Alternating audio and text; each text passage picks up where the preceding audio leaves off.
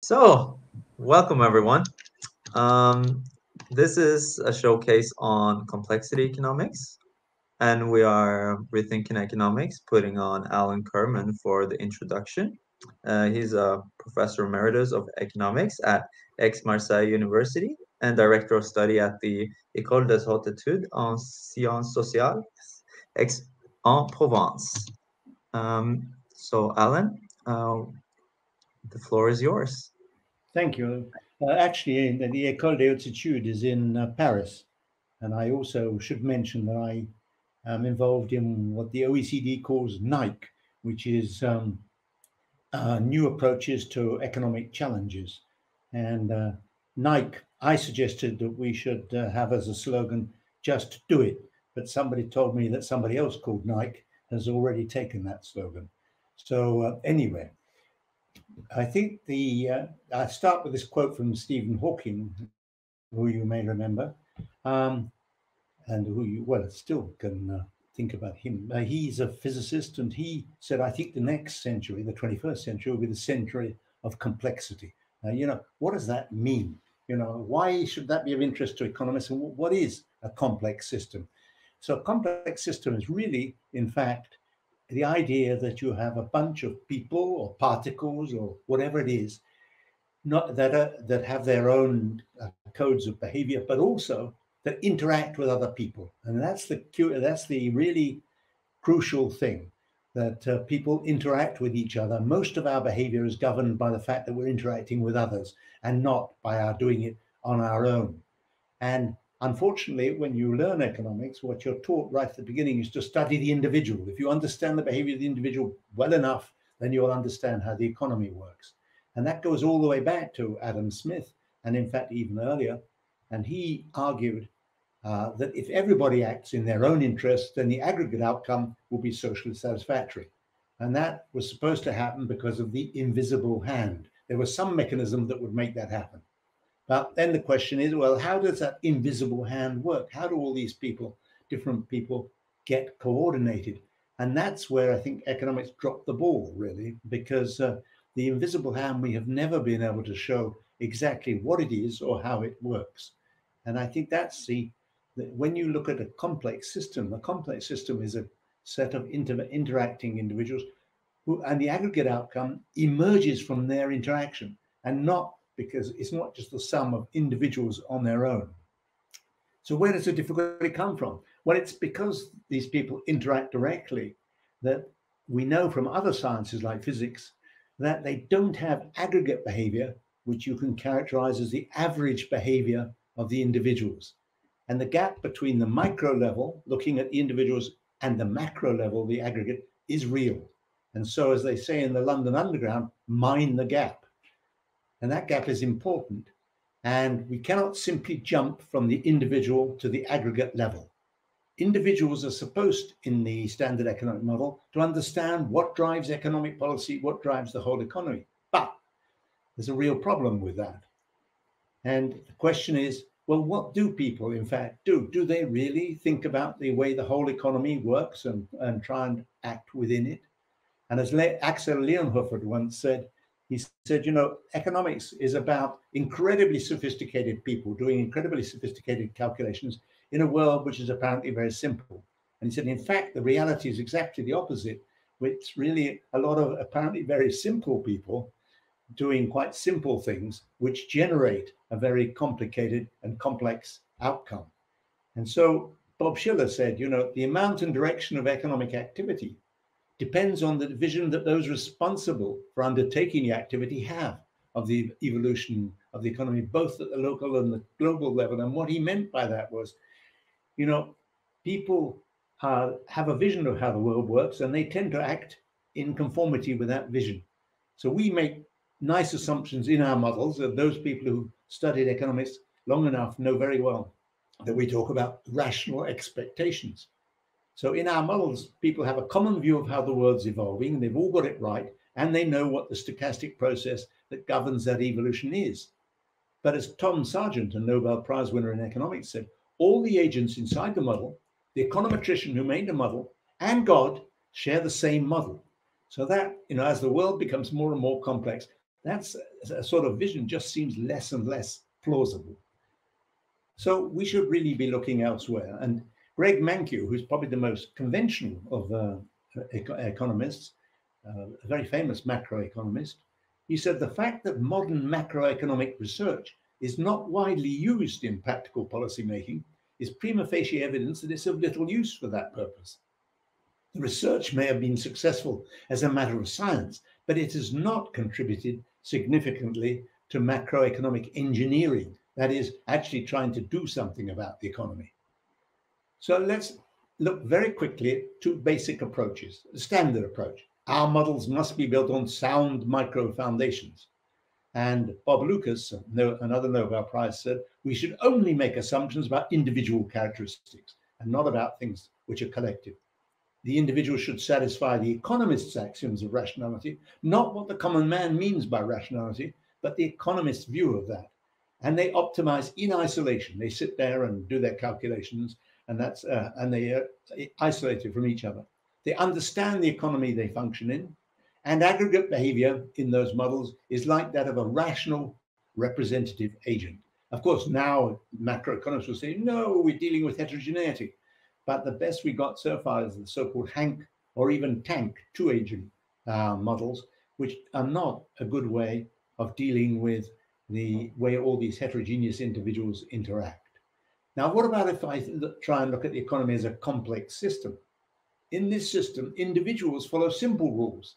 They adapt to their environment. They're not irrational. They don't act against their own interest, but they only have limited and largely local information and the aggregate behavior emerges from the interaction between these individuals. And the real problem in economics is not efficiency, it's coordination. How does all that happen? And that's the question that we should really be answering.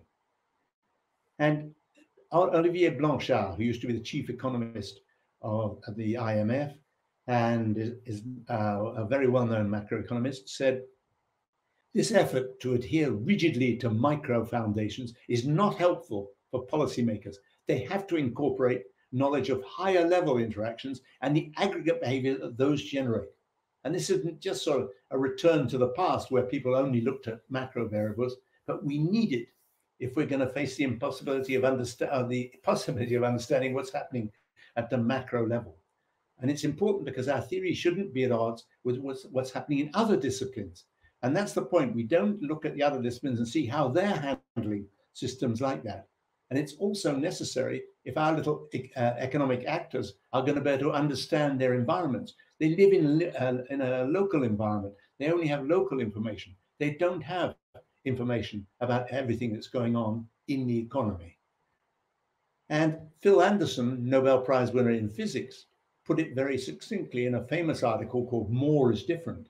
And he said the ability to reduce everything to simple fundamental laws does not imply the ability to start from those laws and reconstruct the universe. In fact, he said, the more the elementary particle physicists tell us about the nature of the fundamental laws, the less relevance they seem to have to the very real problems of the rest of science, much less to those of society. At each level of complexity, entirely new properties appear, and the understanding of the new behaviors requires research, which I think is as fundamental in its nature as any other. In other words, as you add people or particles or whatever it is to your system, the behavior of the whole system will change. And you can't explain that by just looking at the individual any more than if you wanted to explain how an anthill gets built, how the structure gets there, you would take an individual representative ant and look at it. That wouldn't help you in understanding how the whole system works. And just about mathematics, Murray Gell-Mann, yet another Nobel Prize winner, this time in, in physics as well, like Phil Anderson, he said, you know, in much of today's research on complex adaptive systems, mathematics plays a very significant role. But he said the kind of mathematics that's often used in the simulation of complex adaptive systems resembles the discrete mathematics used on a computer to approximate continuous differential equations. But now the discrete mathematics is used for its own sake and not just as an approximation. But it's not the sort of mathematics that's been traditionally used in economics. We've stepped away from that, and we will probably have to come back uh, much more to the computational and uh, discrete approach that he's talking about. So we live in a world, I think, which is characterized by radical uncertainty and radical complexity. And these are terms coined by Jean-Philippe Bouchaud, a statistical physicist in France, and by Mervyn King and John Kay, two very famous economists from the UK. And now the problem is, where does this difficulty come from? Well, the answer is we have what's called the ergodic hypothesis. Now, that may not be familiar to everybody, very familiar to anybody who studied a bit of physics, physics, but that says essentially that if I look over the all the possibilities of what's happening today, the probabilities of those, and then I could I think of nature as drawing the particular thing that happened today. If I keep watching that long enough, the distribution of probabilities that I see today would be the same as if I'd taken the time average over a long period. In other words, the uh, environment that you're in, it remains pretty much constant. There's always noise and variance in it, but the basic structure is not changing. And that's exactly where uh, things are, in fact, don't coincide with what we really observe. And Paul Samuelson said, well, if we have to give up that idea that we're in this sort of stable environment, not stable in the sense that it's it doesn't get knocked around, but stable in the long run, the sort of uh, changes that can happen will have basically the same sort of structure. If we drop that, he said, then economics is just something from the realm of history and not in the realm of science. But the Geneva Association of Insurance, guys probably who got most at stake by trying to understand what's going to happen in the future, argued recently that you cannot maintain that hypothesis Tomorrow, they said, will not look like yesterday, and we can't calculate our pre- premiums as, as if it would. And Keynes, of course, actually made the same point. So, an important question is okay, you're telling us this world is very complex. Shouldn't we try, uh, as far as we can, as far as we can control it, to decomplexify? Let's break down the networks that have emerged. Let's simplify global supply chains. But what we know from looking at complex systems in other sciences is that that is extremely dangerous. When you have a system which organizes itself and develops these links, these networks, and so forth, if you try to deconstruct it and try and separate out some of those things, you can actually lead the whole system to collapse. So we should take that warning and be very careful when we think that just by trying to sort of simplify and destructure the economy, we can actually make it work better. So, how could we bring the science of economics, that is the theory of economics, and the engineering, that is the, the policy side, closer? So, Ben Bernanke said, Look, I think we're just uh, getting out of hand here in our theory. I think it's not realistic to think that human beings can fully anticipate all possible interactions and complex developments the best approach for dealing with this uncertainty is to make sure that the system is fundamentally resilient and we have as many fail safes and backup arrangements as possible. He said that, of course, just at the uh, as the, um, cri- the financial crisis was at its peak. And now, of course, you understand that what's happening when he says that, what he's saying is we have to have our systems which can resist these changes and won't have these uh, things that emerge from within and which completely upset the system. But that's in contradiction to what you're always told. Well, you have to look at equilibrium. We only want to worry about equilibrium. But equilibrium may be highly unstable. They may you may never even achieve them. So thinking in terms of equilibrium can be very misleading. And if you want to make your system resilient, then many people will say, yeah, but it won't be efficient. You're going to have too much stuff which is not actually constantly being used like too many hospital beds for intensive care when you don't really need them. But when the pandemic arrives, you do need them. And the point is to make your system resilient, you probably have to move away from what might be thought of in the short run as being efficient. Once again, these systems are, are, are uh, highly interlinked and generate all sorts of nonlinear effects, which are very difficult to control.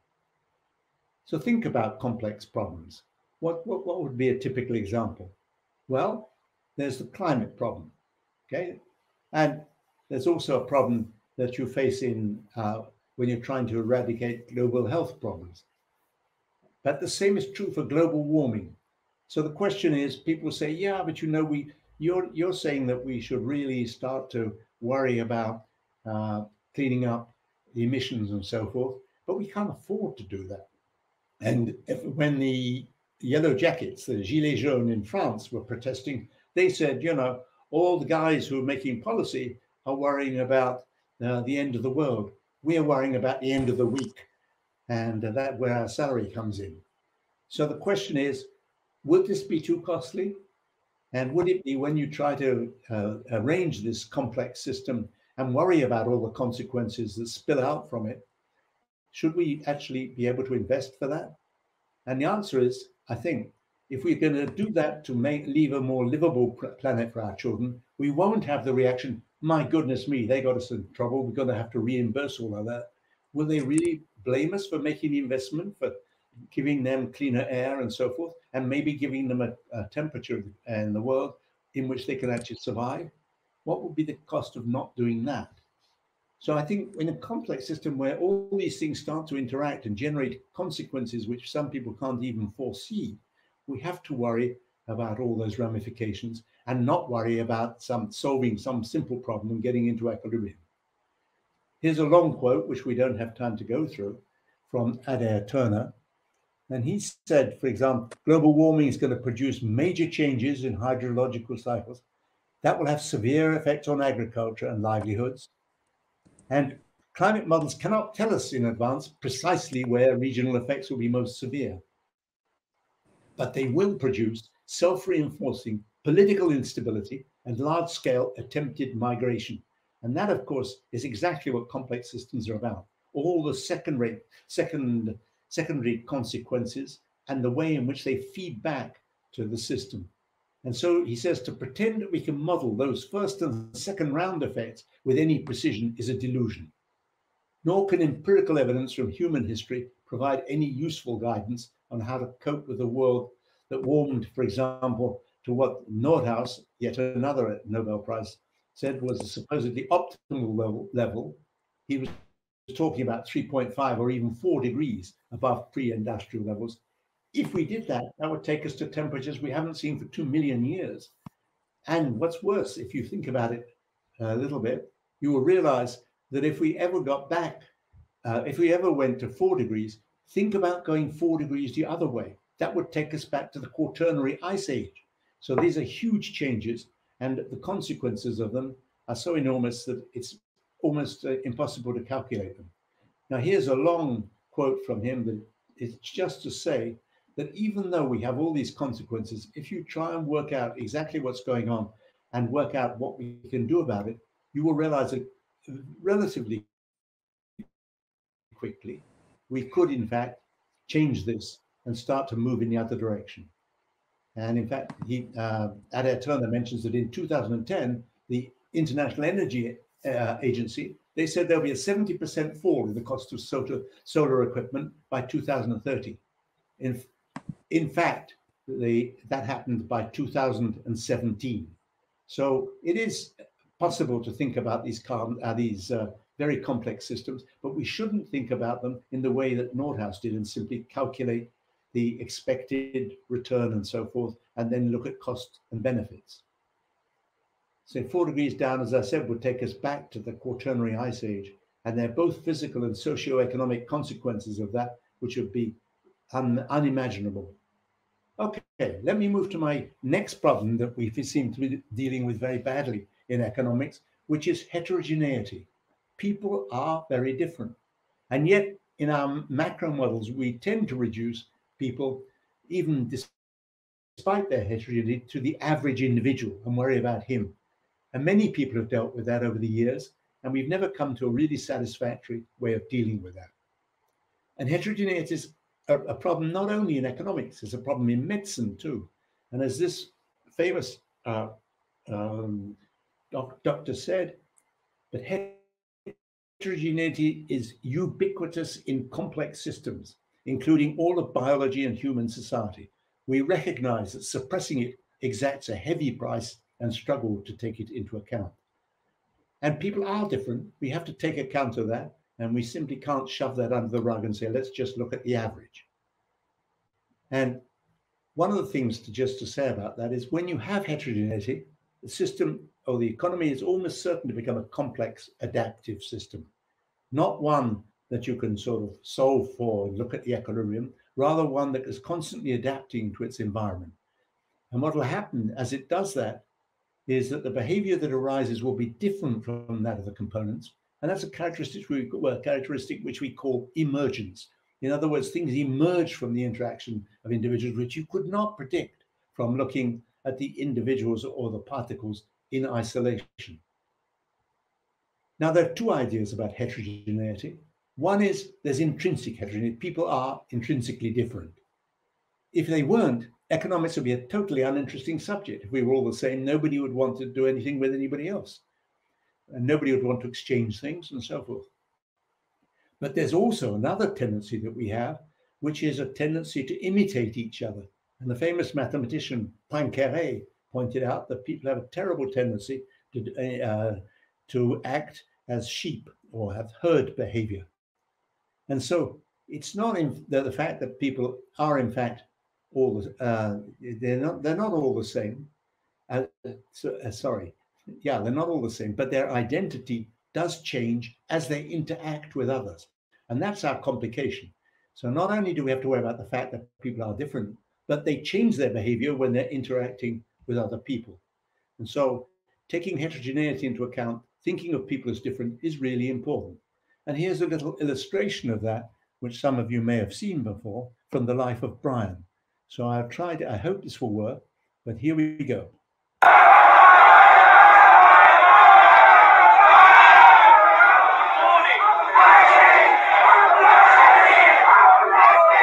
Please, please, please listen.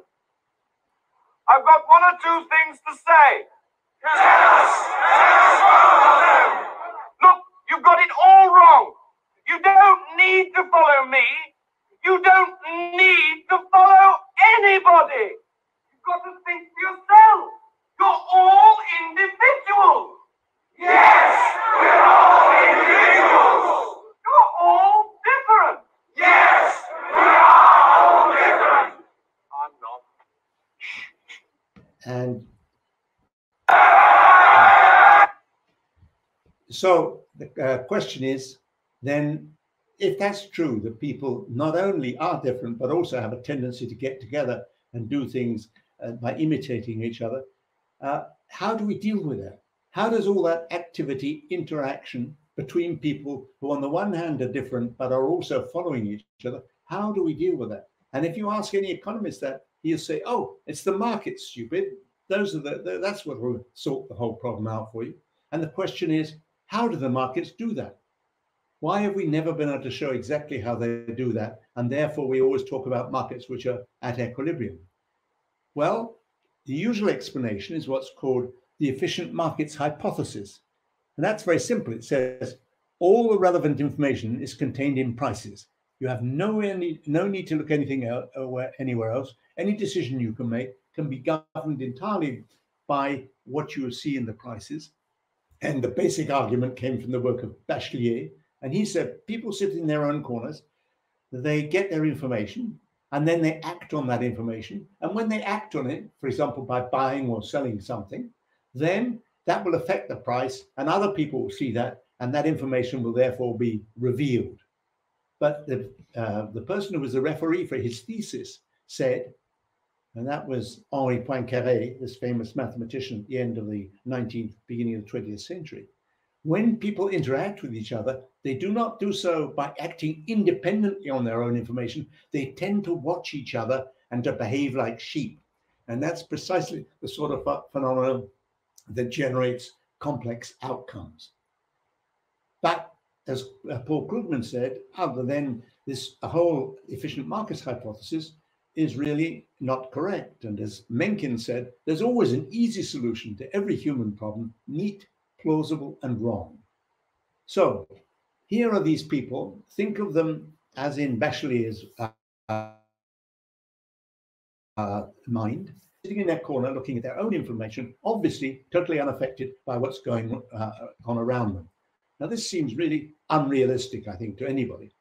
But look at these people here. Remember what Poincaré said people will not only look at their own information, they also observe the actions of others and infer information from those actions. So these people stood in Times Square and looked up at the sky. After a while, there were 5,000 people looking up at the sky. Why were they doing that? Because if the first guys were looking up at the sky, there must be something to see up there. So they all stood there and looked up at the sky. And yet there was nothing to see up there. Now, that you can carry over to financial markets, for example.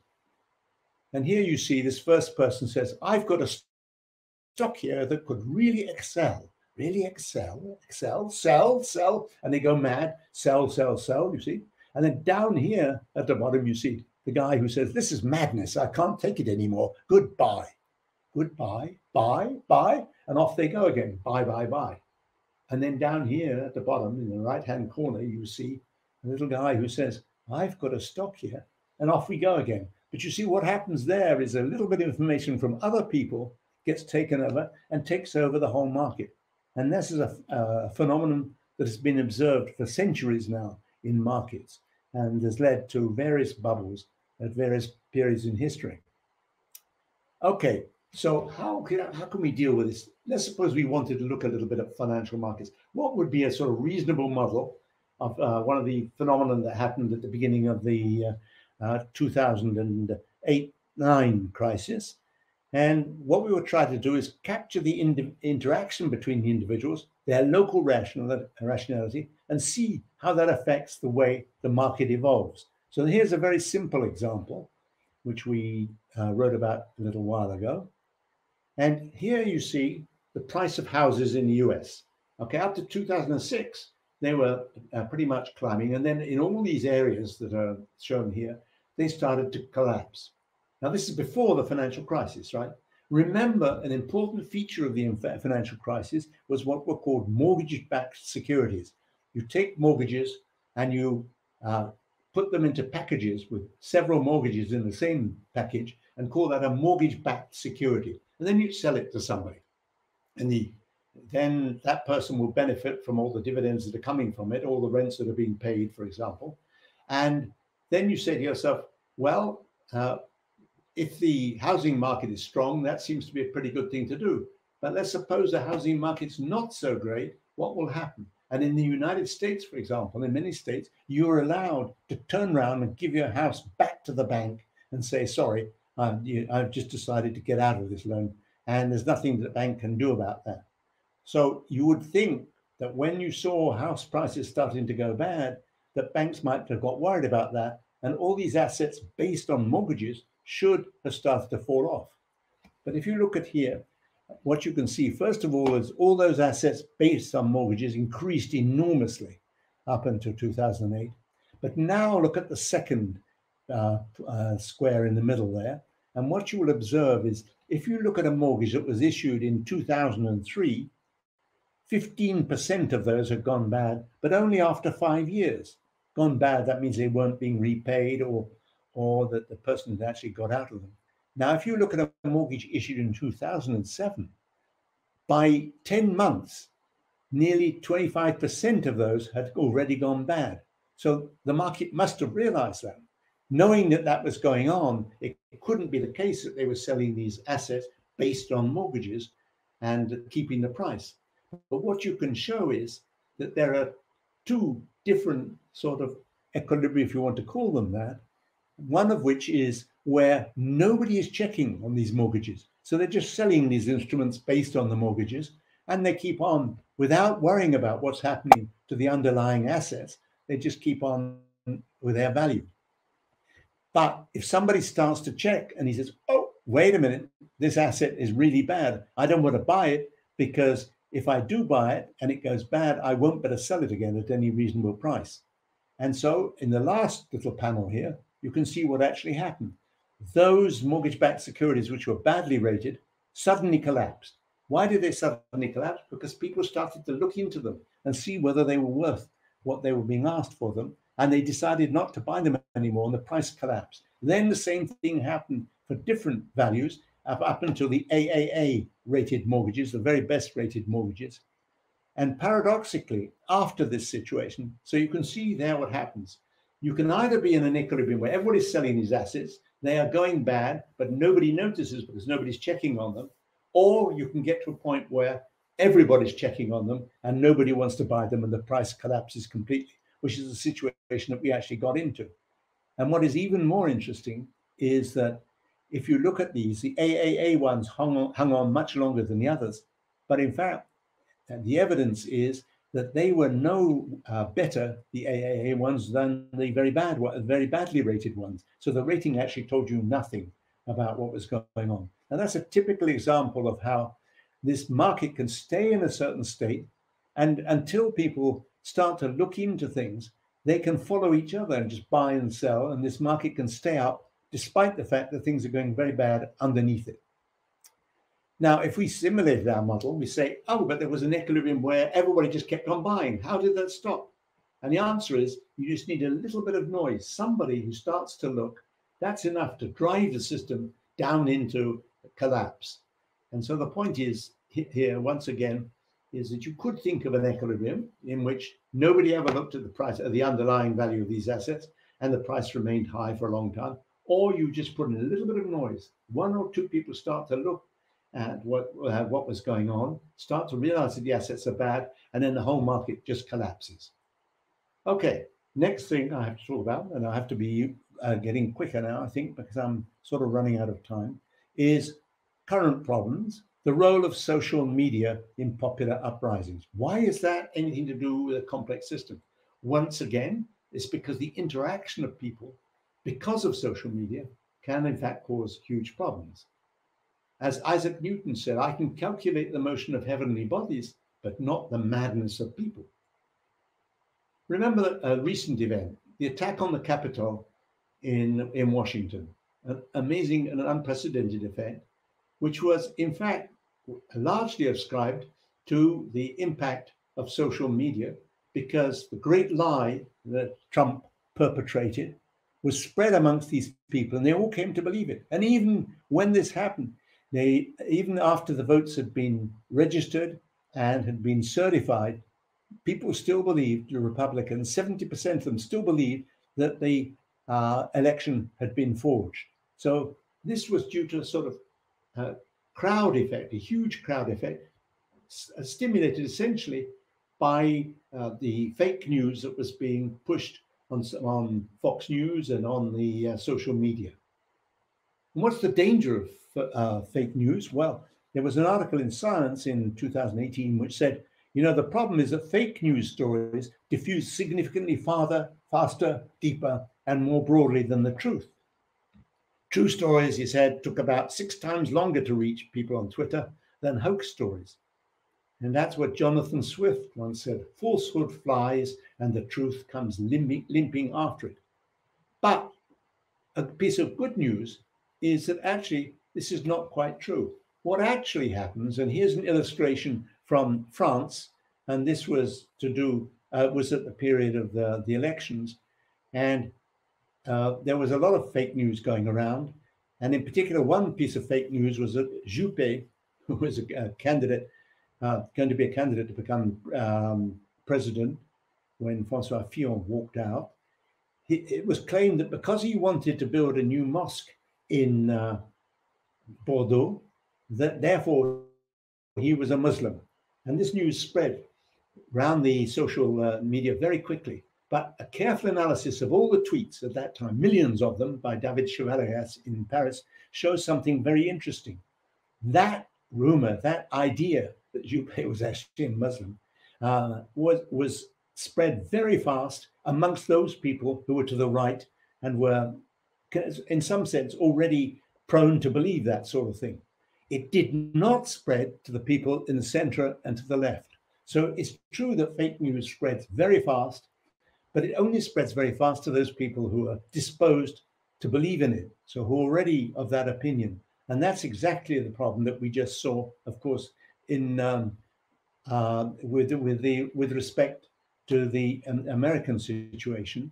Once again, there's a group of people, a big group, who are predisposed to believe that sort of information, but it doesn't spread fast through the whole population. So there's some hope for us. Okay, very quickly, then, I want to talk about endogenous catastrophes. In most economic models, what you're told is that things that happen that knock the economy off equilibrium are due to exogenous shocks or black swans or mysterious things that come from outside. But in fact, most of these catastrophes are in fact endogenous. They develop from the system, within the system. As it organizes itself, it produces its own catastrophes. Here's the, uh, uh, a couple of pictures from uh, uh, the Texas big freeze, which you've all heard about. And you say to yourself, wow, well, that was just due to this huge external shock. They had this very unexpected cold weather. But in fact, it's also due to the fact that the system had been going bad for quite a long time. A long sequence of events privatization, separation of Texas from the national power grid. The whole system had built up in a way because of people trying to maximize short term returns, not investing in infrastructure. And when the bad event came, then the system showed that it was not at all resilient. And resilience is a word that you've heard many times recently, but was not a word that was being used a few years ago. And the resilience of the system was just not anywhere near enough to withstand this shock. And it was a huge shock to Texas, you know, and an amazing number of people were without electricity and were having to burn their own furniture to keep themselves warm. But that shock was attributed to this external event, but it's also should be attributed to the way in which the complex system, the social, socio-economic system, had organized itself into a way that it was not resilient to that sort of shock. Okay, what sort of new tools uh, we should be using for these sort of problems? And I have to go very quickly now because uh, I think I'm really running out of time. So the first one I think we're being told is, oh, well, don't worry about it. You know, you're saying well, all these people have to be super clever and therefore they're going to have to calculate and they don't, they're not capable of doing that. But machine learning and things like that will change the whole situation the machines will do the learning, and we don't have to be as clever as economists have assumed us to be, that all the learning will be done by efficient computers.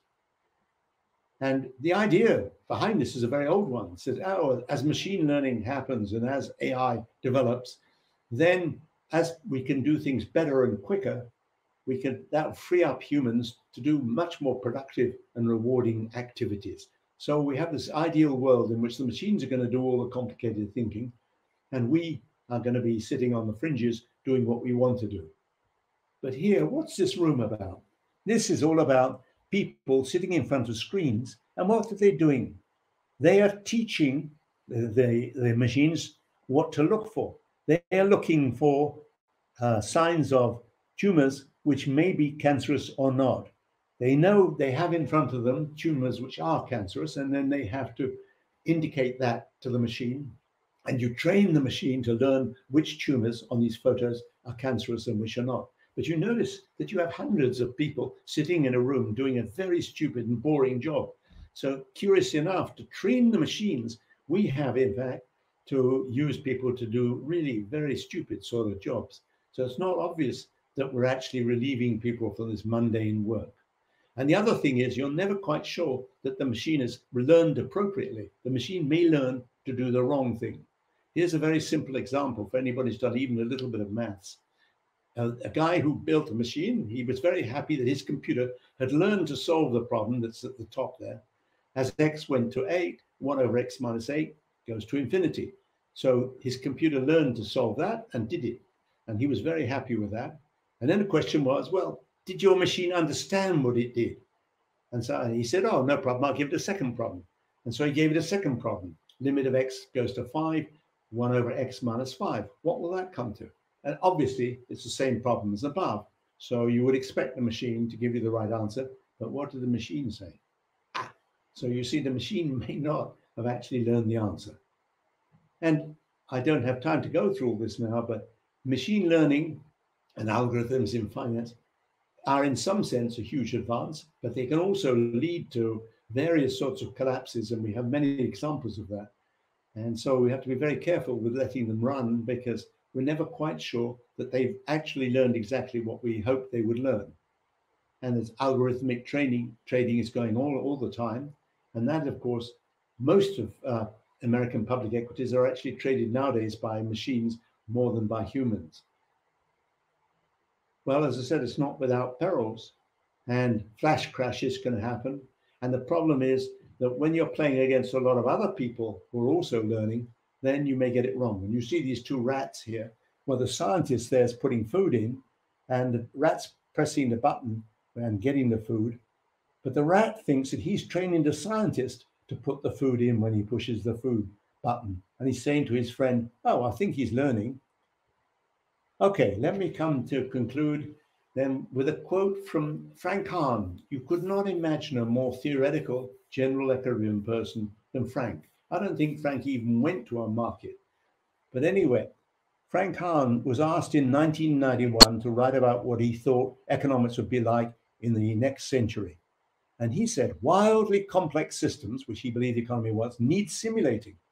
And then he get, went on to say, you know, well, there have been evolutionary algorithms which are designed for the computer, and there will be convergent theorems, and there will be more and better ones.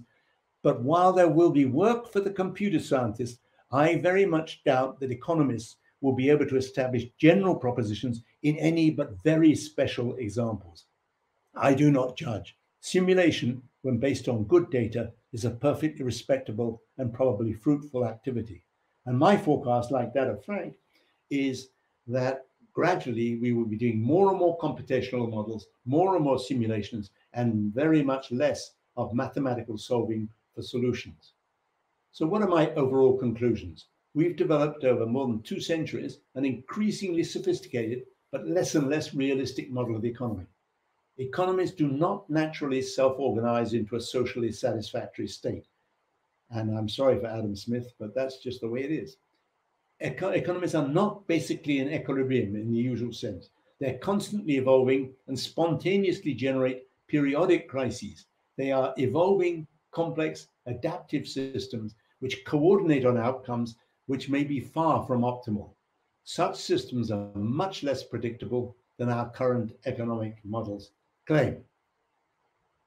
So, last words from Mervyn King, the former governor of the Bank of England. He says the message he was talking about Hayek is that we should avoid the hubris of thinking that we understand how the economy works, just as we should avoid the hubris of thinking that leaving markets to their own devices will lead to nirvana people say, yeah, but wait a minute, this complexity economic stuff, you know, that's not being taken seriously by governments and other people. Here's a whole list of places where it is being taken seriously, academic and otherwise. And there's a whole series of universities, most of which you will recognize, where this has been taken very seriously. And even governments, central banks, are building what are called agent based models rather than mathematical general equilibrium models Bank of England, European Central Bank, the Bundesbank, UK, UK and US Treasury, the Fed. And all of those people are working on essentially complex systems and agent-based models. That is models which, again, you simulate, but which you don't actually solve. Oops, sorry about that.